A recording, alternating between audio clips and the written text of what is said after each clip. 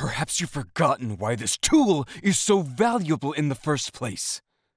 Need I remind you, Commander?